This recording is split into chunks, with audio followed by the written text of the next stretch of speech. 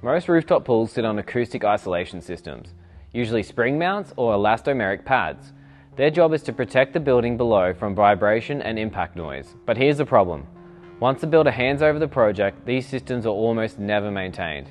No inspections, no triggers for servicing, and no accountability. And while they sit out of sight, components seize, corrode, or shift. By the time anyone notices, the damage is already done and very expensive. At Nature, we recommend annual inspections for all spring-based isolation systems. Without proactive maintenance, failure isn't just possible, it's inevitable.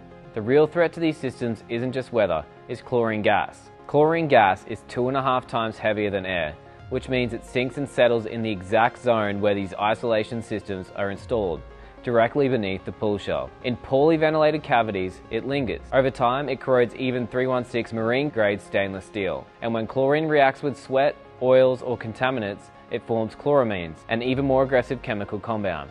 We've seen spring systems completely seized with rust in less than five years because chlorine exposure was never factored into the design. This isn't theoretical, it's happening right now across the country. The durability of an isolation system always comes back to materials. We use marine grade stainless steel springs and hardware because standard grade components fail quickly in rooftop environments. Unfortunately, many builds still use a lower quality offshore manufactured parts to save money up front. But when a spring system fails under a fully tiled or water-filled pool, the cost of repair can often be enormous, often requiring major structural work. If you cut corners on materials, you will pay for it later. Right now, there's no Australian standard that specifically covers acoustic isolation systems for rooftop pools. The NCC touches on sound transmission, but not vibration control. That leaves it up to engineers to apply sound judgment and tailor systems to every project. For pools above bedrooms or sensitive spaces, low deflection spring mounts like the C8 or XDRP series are ideal. On commercial rooftops, elastomeric pads may be enough. And for projects balancing cost with performance, hybrid systems can deliver reliable results without over-engineering. The key is that there is no one-size-fits-all solution. Every system has to be designed around budget, performance, and serviceability. There's one golden rule that determines long-term success. If you can't access it, you can't inspect it, and you can't maintain it. This is where many projects fail. Access is often sacrificed for the sake of a floating architectural look, but without space for technicians to check springs and alignment, maintenance becomes impossible. The NCC requires 400mm of clearance under the pool for inspection purposes. Access isn't a luxury, it's a necessity, and if missed in design, it's nearly impossible to fix later. Rooftop pools are striking features, but beneath them, acoustic isolation systems protect the building, its occupants, and your reputation. The failures are silent until they're not. Maintain your systems, use quality materials, and always design for access. Now let's talk about one of the most common and costly mistakes we see on rooftop pool projects, the equipment room.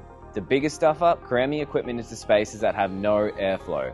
I've lost count of how many jobs I've walked onto where the heat pumps and chlorinators are boxed into a corner, no breathing room, no clearance for servicing, and no thought for future access. Sometimes the slab's poured, the walls are erupt, and then someone asks, hey, where should all the pool equipment go?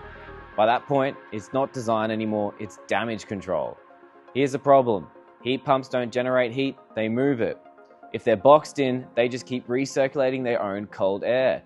That kills performance, shortens their lifespan, and sends your power bill through the roof. Here's what we recommend based on real specs. For any installation, give it space.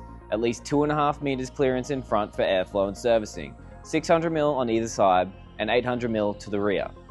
That's the minimum for proper ventilation and maintenance access. If you can't give it that, you'll need forced ventilation. And that's something you should plan before construction starts. Because once the riser's framed and the ductwork's locked out, cutting vents in later becomes an expensive headache. Good equipment design isn't just about where it fits, it's about how it breathes and operates. Plan your space early and your system will thank you forever.